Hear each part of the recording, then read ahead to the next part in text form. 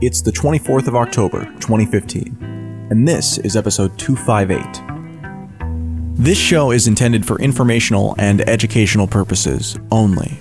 Cryptocurrency is new, exciting, and empowering, but we're not experts, just obsessed companions walking the road towards a more peer to peer future.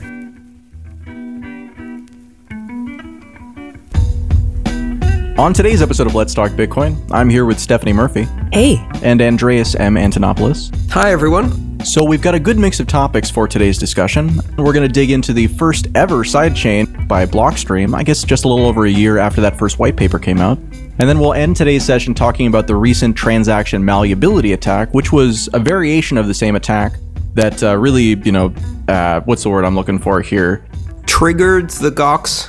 Yeah, exactly. That that Goxed Mount Gox Yeah. and has been back in the network news recently.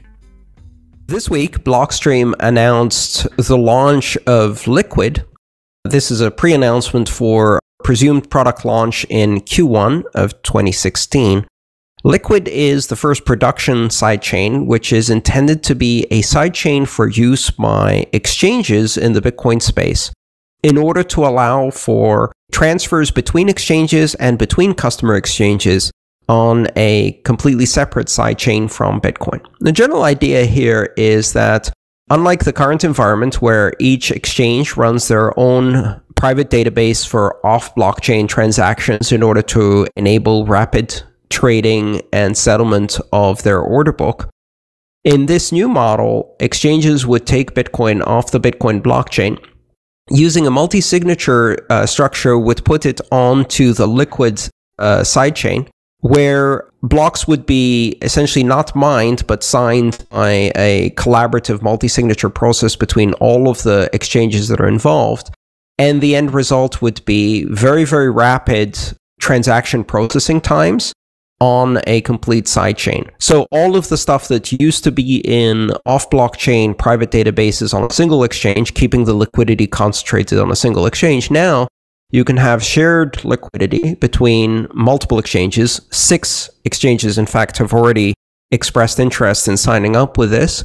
Presumably, that would allow for much faster arbitrage between exchanges. Now, at the moment, if you want to take money out of one exchange in Europe and put it into another exchange in the United States, you'd have to go six confirmations out of one exchange, six confirmations into the other, about two hours in order to transfer money. With uh, Liquid Sidechain, you could do this in a matter of seconds or minutes. What that would allow you to do is arbitrage, which would presumably bring the exchange rate pricing uh, differences between exchanges down significantly and allow them to pool all of their liquidity to allow for a much better trading environment. Arguably, this also means that a lot of the transactions that are in private databases end up being on a public sidechain that provides some auditability or accountability and effectively allows exchanges to pool their resources together, but also create checks and balances on each other. So, this is a really interesting application for sidechains. It seems to be much better than the off blockchain approach of traditional private closed exchanges, and at the same time, more transparent, secure, and private than the permissioned ledger systems that we see many of the banks implementing. So we'll see. This is still in the early planning phases and due for launch Q1 2016. Okay, so I have a couple of questions about this because I was chatting with uh, Nick Rathman and Devon Weller about uh, what kind of this means and whether or not it's something that's the sidechains are attractive for us to use with Tokenly. And uh, a couple of things came up. One, how is this different than a permissioned ledger, just kind of generally speaking? Because it doesn't use miners, it doesn't use proof of work, and it doesn't use merged mining, which were things that were, I thought, in kind of the uh, initial proposal we were seeing for sidechains. This doesn't use any of those things. So what is, what's actually different about it than uh, just a normal permission ledger? I think one of the key differences is that this has a two way peg to the Bitcoin blockchain, meaning that all of the funds that are on this sidechain come from the Bitcoin blockchain and eventually return to the Bitcoin blockchain, which means that you get, as promised by sidechains, this is the whole point of sidechains, is that when you do a two way peg to something like Bitcoin, you get a lot of the uh, guarantees of the Bitcoin network essentially by proxy on the sidechain, meaning that unlike a permission ledger, you can't create money out of thin air. you have to peg it to a specific amount of Bitcoin that's actually on the blockchain. And you can always return it back to the blockchain when you want. The other thing I think that is very different is that most of the permission ledger proposals we've seen are closed, whereas this would be a public blockchain. Uh, you will be able to create transactions on it and, and view it, and it's open for any exchange to participate. I think that's another big difference. Finally, the third interesting one is that the Liquid sidechain is going to be using confidential transactions from the get go, which means that it will deliver a fairly high degree of privacy for the participants in this uh, sidechain. Unlike permissioned ledgers, which essentially become a giant honeypot for any hacker who can come along or any internal employee who leaks the entire trading history of whoever's using the permissioned ledger. Permissioned ledgers are not very secure wouldn't that just be negated by the fact that all these sidechains are going to be tied to exchanges that are going to be doing AML KYC stuff anyway? Well, the exchanges may be doing AML KYC at the edge on their own customers and the transactions they put on the sidechain, but you will not be able to attach that AML KYC, at least by viewing the public blockchain, to specific transactions because of the use of confidential transactions. And so the source, destination, and amounts are encrypted in confidential transactions. And as a result, you can't just leak the information. Whereas if you have a permission ledger that's doing AML KYC, if you leak the, the company's database and the ledger itself, then you basically have the entire transaction history of anyone who's ever participated. So this is one of those situations where it's more decentralized on that scale, but it still isn't tremendously decentralized. It seems like it is centralized on those six exchanges or, or however many exchanges they wind up eventually having, but that is compared to it being centralized on each single exchange uniquely. And so, in that way, this is definitely a step forward in terms of spreading out the risk and making it so that if somebody is attacked, actually, that that's you know they can't get the money out; they have to attack everybody in order to compromise that sort of thing. So it brings the benefits of multi-sig to a permissioned ledger. Is as near I can tell, the that's the advantage here, right? Well, th- that's the beginning of it, but I mean, Blockstream has repeatedly expressed a roadmap that has different mechanisms for proof of work or um, for consensus on the blockchain. This is the first implementation of that consensus on this sidechain. It's not necessarily going to remain that way. A lot of the sidechain's functionality at the moment is restricted by what's possible to do on the Bitcoin blockchain theoretically in the future, if you have some small protocol level changes on the Bitcoin blockchain that allow you to do sidechains more effectively, you could have a much more secure approach to sidechains than using trusted intermediaries or multisig or these modified consensus mechanisms. The other thing to keep in mind is that this deals with two fundamental problems. The first problem is the is the fact that each exchange right now is an island of liquidity with no ability to arbitrage and that means that the overall liquidity in trading across exchanges is very, very low, especially if you're in a country that, do, that has only one exchange or has very small exchange or access to exchanges. The amount of liquidity that you can trade on Bitcoin is pitiful and, and really puts a damper on price discovery and stability. It creates volatility and all kinds of problems. The other issue that you're addressing, which I think is very serious, is goes back to perhaps the conversation we're going to have next, but goes back to, to the lessons of Gox. So on Gox, you had Willybot that was trading. And from all of the accounts so far, it appears that on several occasions, Karpelès or someone else inside went and made a simple change in the database that increased the balance of specific accounts like Willybot's account, allowing them to trade Bitcoin that didn't exist essentially creating artificial supply of Bitcoin and, and going all fractional reserve on the blockchain. And the only reason you can do that is because it's a completely closed private database. It's a SQL database. And so anyone can change any number they want. That's a fundamental problem that needs to be solved. So the improvement from completely off blockchain private databases to a shared sidechain that depends on a multisig that's pegged to Bitcoin, uh, that significantly reduces the risk of this kind of reserve exchange where you're trading Bitcoin that doesn't actually exist. Sure, this definitely smells like progress and smells like, you know, a step along that path going towards totally trustless, if we still want to use that word after our conversation with Nick Szabo, side chains.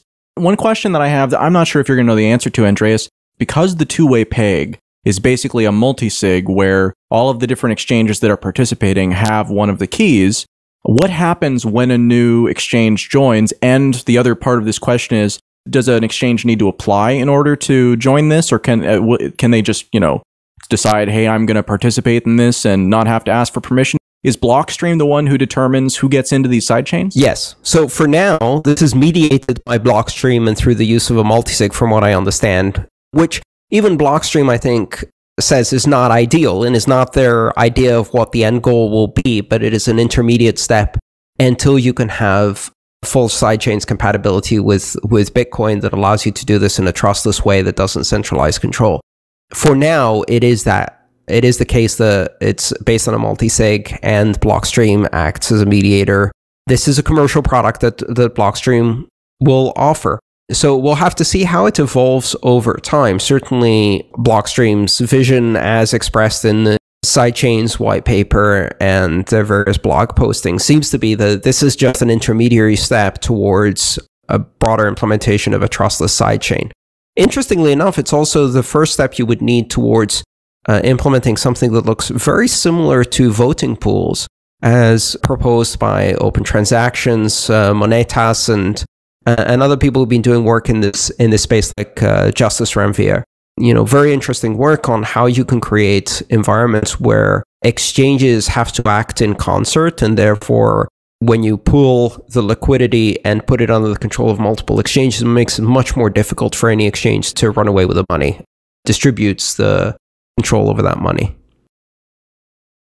I think the most interesting thing about this is that what we've seen so far in the space has been a promise of a fairly significant and very innovative technology, the, the concept of a two way pegged sidechain. But that promise has only expressed itself in a white paper. And you can't really see what the implications of that will be until you have running code.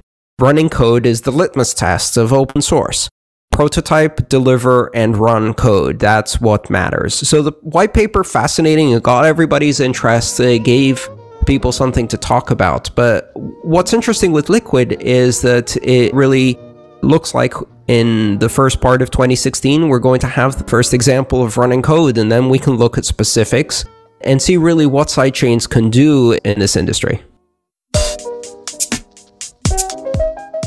Today's episode of Let's Talk Bitcoin is brought to you by the LTB Network, where we're currently looking to hire an assistant developer to help us further improve our site and service. Interested applicants should be familiar with Linux command line interfaces, have basic knowledge of Git source control, and be comfortable working with MySQL, PHP data objects, object oriented programming, HTML and CSS standards, and a few other specifics about our system. Check out the show notes of episode 258 to find the full list of attributes we're looking for, or jump right to our open source GitHub at github.com slash tokenly slash tokenly dash CMS. Compensation is negotiable, and interested parties should contact David at letstalkbitcoin.com with the subject line Developer Wanted. We look forward to hearing from you. And today's magic word is dev. That's D E V. Dev. We look forward to hearing from you. You've got until the 31st of October to visit letstalkbitcoin.com or the Let's Talk Bitcoin iOS app to enter it for your share of the listener rewards. Thanks for listening.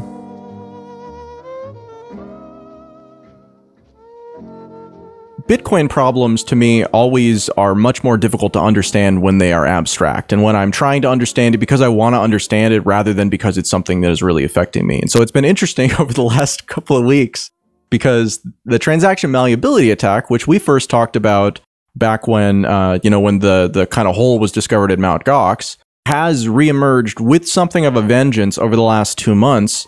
And this time it has affected me very personally because of the stuff we're doing with Tokenly and the vending machines that we're operating.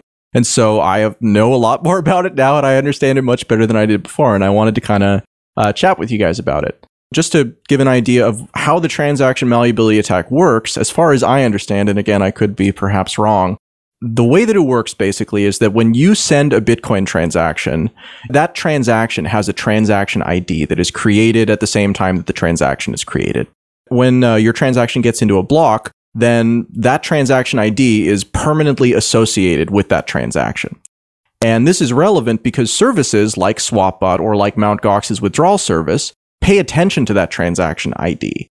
That's how they track, you know, if a transaction has confirmed. You look for the transaction ID, see how many confirmations it has, and that tells you pretty much everything that you need to know. The transaction malleability attack basically is where you as a bad actor are watching the Bitcoin blockchain and as transactions hit the network, you create duplicate transactions that actually just like send a fraction of a Bitcoin to yourself, but pay a miner's fee that have the same transaction ID because you can actually set the transaction ID. And if your transaction, your fake one, gets into the block first, then the one that somebody actually sent that had that transaction ID, that, that'll have a different transaction ID in the blockchain. So because somebody took the one that they thought they were going to get, the ID actually changes.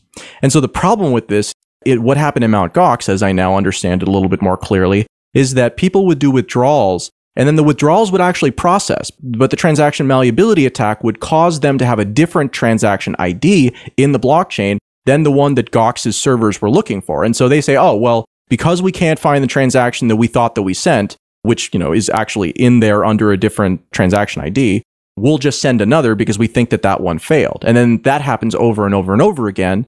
It's only when the person who's trying to change the transaction ID of the of the deposit, you know, it's when they fail and the real one gets in first, that's the only time that Mt. Gox's system could actually see that oh, this transaction successfully this uh, withdrawal successfully processed and everything was finished. They only actually noticed when they ran out of money because they kept doing withdrawals until the hot wallet emptied and the hot wallet should have had balance X and instead it was empty. And that's the only reason they noticed. Just to interject some technical Please. stuff here uh, to provide an explanation.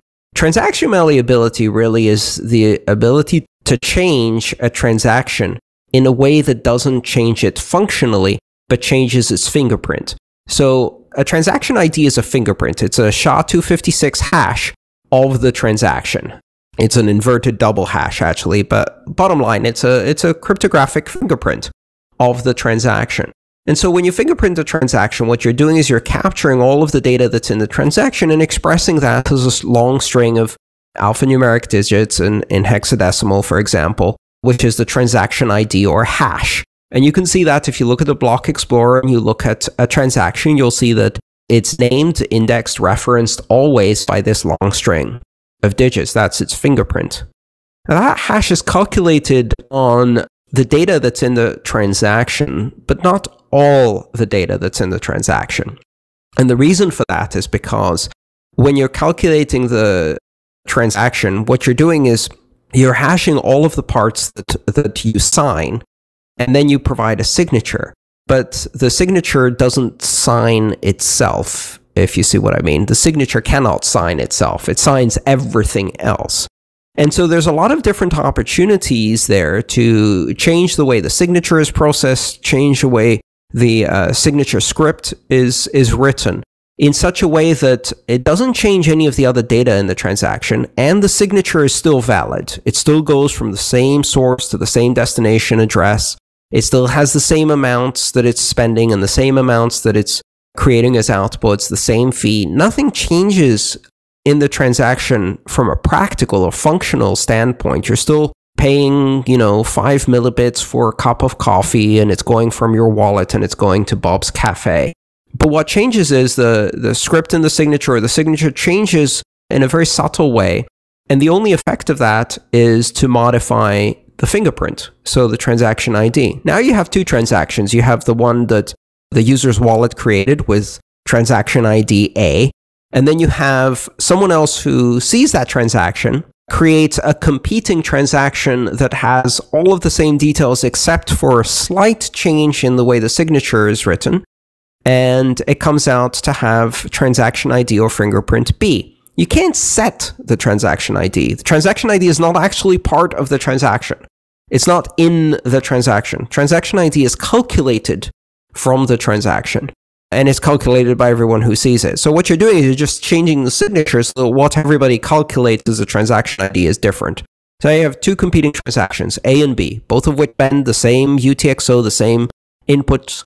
They both create the same outputs. They both create the same fee. They pay the same person the same amount. but they're identified differently. And the end result is that you have two problems. One problem is kind of the naive wallet problem, the one you described with Gox, which is if you're looking to see whether a transaction has been confirmed on the blockchain by looking for the transaction ID, you will miss this.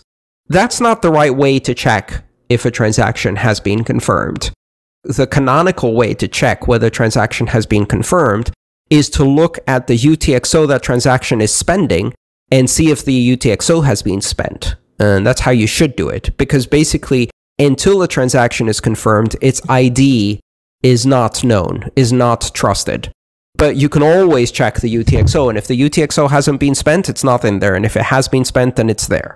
So until you have one confirmation, you cannot make any statements or comparisons based on transaction ID because it's malleable, right? So that's a problem really for naive wallets and naive implementations of uh, trying to see if something has confirmed or not. But there's an even deeper problem. And the deeper problem has to do with chained transactions. So let's say you're doing a series of transactions where one transaction spends the change from the previous transaction, right? Let's say, for example, you have a, an off blockchain exchange that's trying to do a lot of withdrawals for a lot of customers. Or let's say that you distribute 1,500 uh, unique amounts of uh, LTB coin on yes. a per weekly basis, and you used to chain all of those transactions. Yes. Right. So, what happens when you do that? Well, there's two ways to do that. One way is to pay customer A, get the change back, wait until that's confirmed, and then use the change, the confirmed change, to pay customer B, wait till that's confirmed, use the change that's confirmed to pay customer C, etc. If you did it that way, you'd be looking at 10 minutes for each customer. And if you had 1500 customers, you'd have to wait 15,000 minutes, which might be a bit of a problem.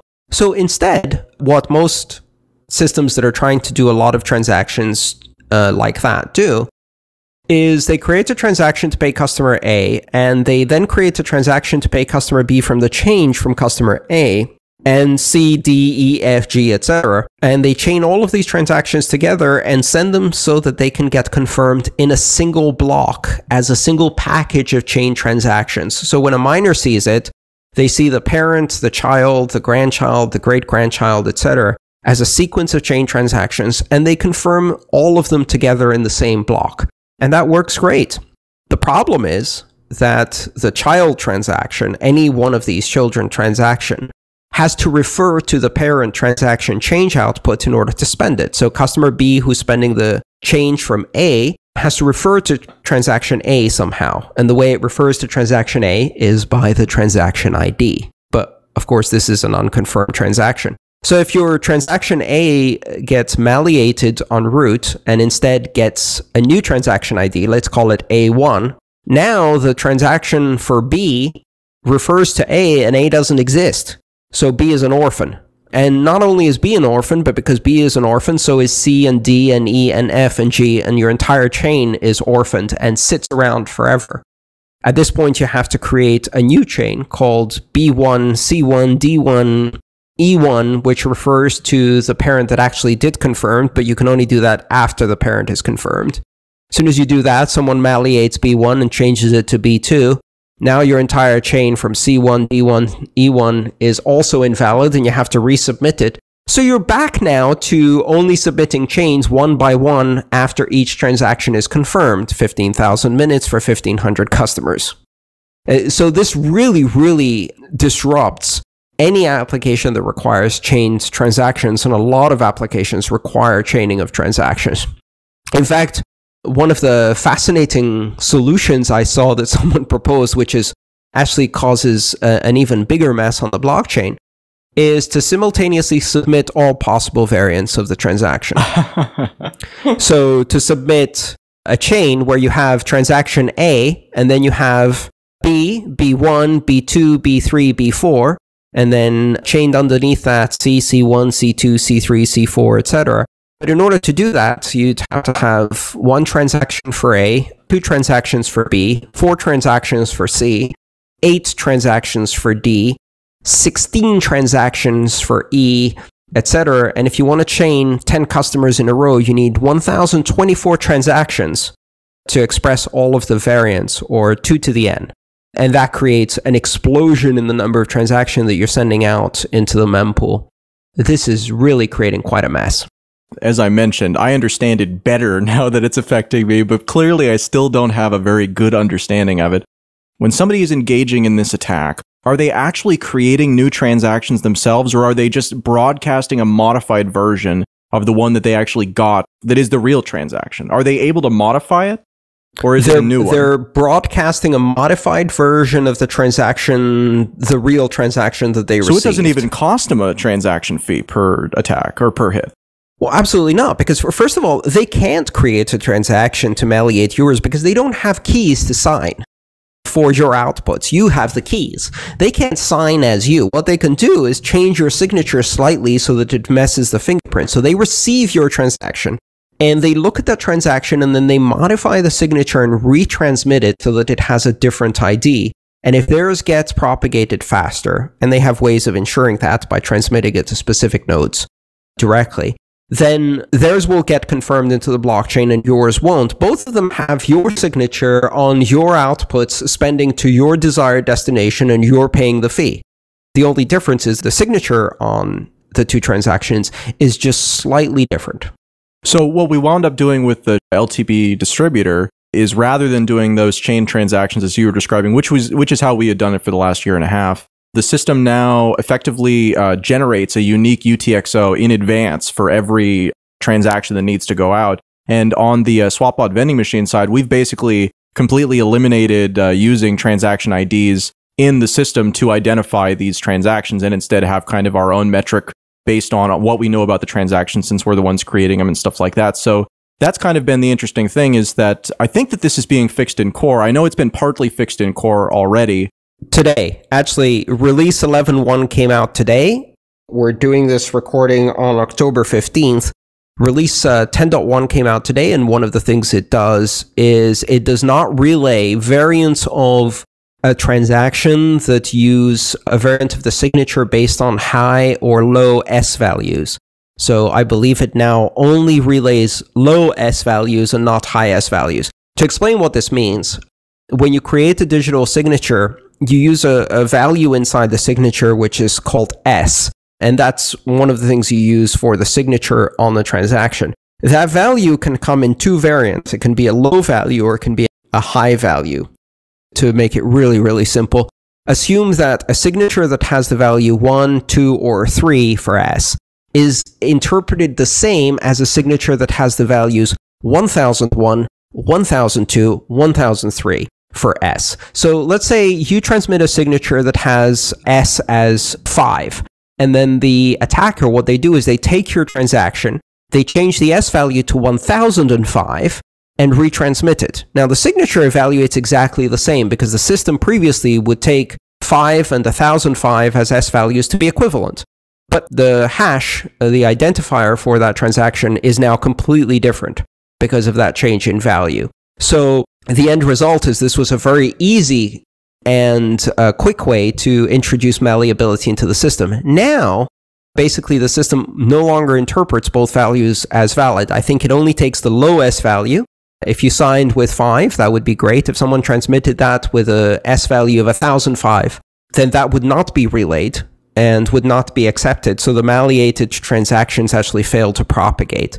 By the way, when I say 5 and 1005, I'm just using a, an approximation integer. Actually, it's a, it's a hex number with a lot of Fs on the beginning and a very, very long number that's the increment for high S values. Is there any circumstance under which somebody would have a legit reason for wanting to change the transaction ID and propagate that? Like, or is it just strictly an attack thing? Is there any reason to do it that's not malicious, I guess? Well, you, you got to realize that this is not their own transactions. They're modifying other people's transactions. Uh, the only reason for this is nuisance. But here's the other bizarre effect here, and some of the people who have been doing these transactions and have posted about why they're doing these transactions come up with a very interesting rationale behind this. What happened, Adam, when you were faced with malleability issues that were messing up your business? We had to deal with it. and you changed it and you rewrote your wallet not to rely on transactions IDs, but instead to rely on looking at whether UTXO has been spent and chaining transactions, constructing transactions in a way that uses unique UTXO per transaction instead of chaining transactions with change. In effect, what happened is you improved your wallet to be resilient to malleability. And the only reason you did that is because you were exposed to malleability. So the argument goes like this we have these problems. They're known problems, but nobody's fixing them. Nobody's fixing them because there's not enough reason to fix them. But if we start injecting these malleated transactions, we're giving everyone a reason to fix their software. And guess what they're doing? They're fixing their software. So the system actually gets more resilient. Now, Bitcoin Core addresses this particular avenue of malleability. We've actually seen now three or four different avenues of malleability be closed down. The total set of malleability, known malleability issues is described in BIP62. BIP62 has nine different broad categories of malleability that can exist in Bitcoin, of which at the moment, I think only three have been addressed. And BIP62 hasn't been fully implemented. And so the question is, why has BIP62 not been implemented? And the reason is because it's painful to implement and the cost of not implementing it isn't high enough. Well, arguably the people who are doing these malleability attacks are increasing the cost of not implementing it until it reaches a point where people implement it. And the end result is that Bitcoin becomes more resilient and robust against these kinds of attacks. Do we want to have this pain now? Or do we want to have this pain in two years when this is used even more broadly by even more people and the pain ends up creating an even bigger mess? So there's a perverse situation here whereby, yes, this is just a nuisance attack. Yes, the attacker gains absolutely nothing by doing this. But in a way, you can see this little perverse rationale that says, if I poke at the hole in the system, it forces people to patch that hole, which actually improves Bitcoin. Thanks for listening to episode 258 of Let's Talk Bitcoin. Content for today's show was provided by Andreas, Stephanie, and Adam. Music for this episode was provided by Jared Rubens. This episode was edited by Adam B. Levine.